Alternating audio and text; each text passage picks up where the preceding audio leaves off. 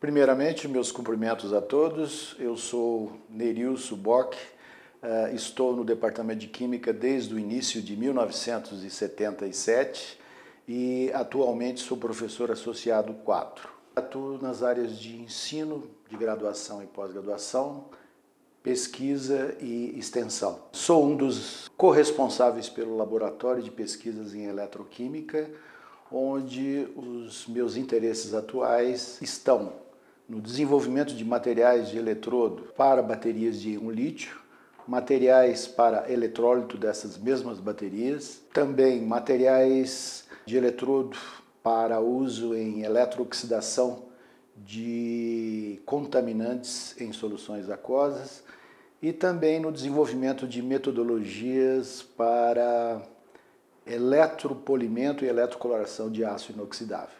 Para quem tiver mais interesse, convido a visitar a nossa página no endereço www.ufscar.br barra LAP.